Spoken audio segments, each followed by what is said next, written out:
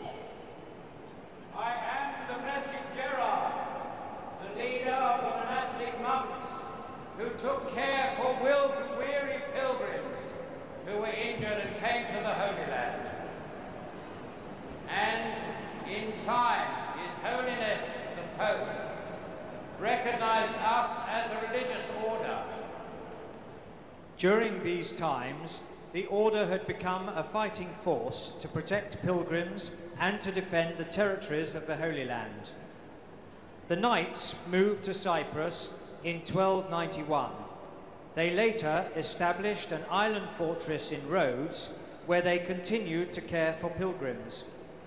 They then moved to Malta, which became home to the Order for 250 years.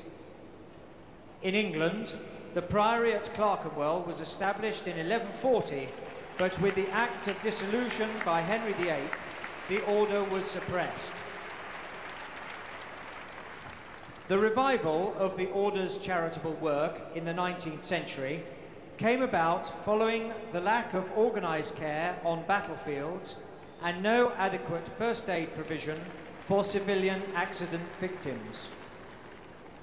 In 1877, the association was formed to provide textbooks and training for first aid in the mines and railways.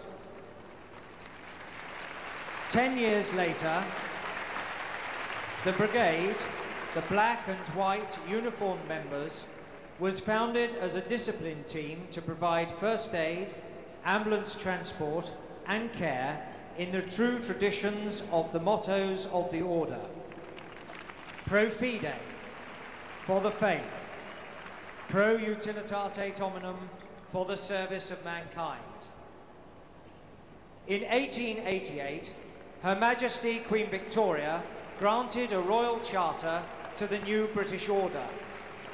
From that time, the monarch has remained the sovereign head of the Grand Priory of the most venerable order of the Hospital of St. John of Jerusalem to give the order its correct title.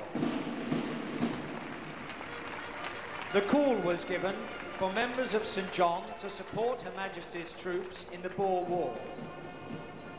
By the end of hostilities in South Africa, over 1,400 members had served the Crown as medical orderlies. Many did not return. In the two world wars, medical and humanitarian support was given to the armed services, prisoners of war, and the civilian population.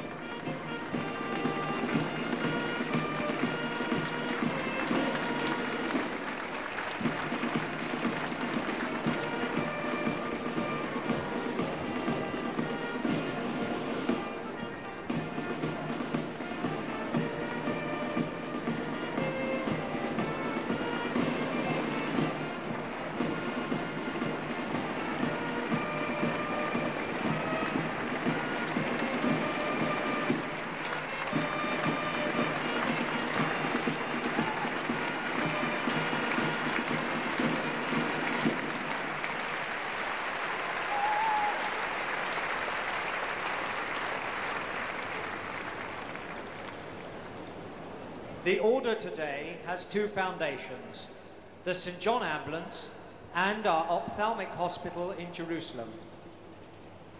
This 80-bedded hospital provides ophthalmic care to everyone without distinction of race, colour or creed.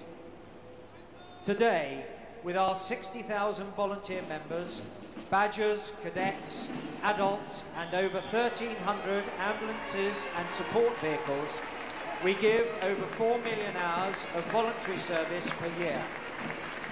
Many sporting and a host of national and local events would not take place without the attendance of members of St John Ambulance. Young members make up over 60% of the membership, not only providing first aid and care, but enjoying exciting adventure and leisure activities. The Order of St John operates in over 40 countries. Its international branches make up our worldwide family of St John. These countries are represented by their national flags gathered around the outside of the arena this evening.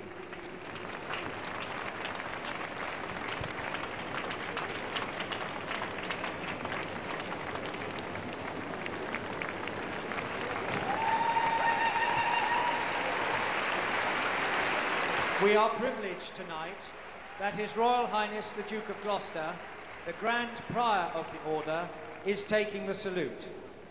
And giving the salute is Mrs. Jill Scott, Superintendent-in-Chief for St John Ambulance.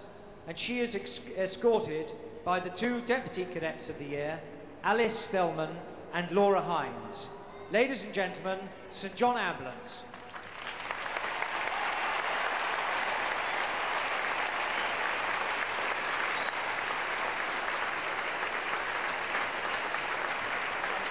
Thank you to all members of St John who have made this performance possible, and to Mr Christopher Rose, who composed the final march especially for this performance. The pulse is still strong. As we approach the new millennium, providing first aid, transport and care.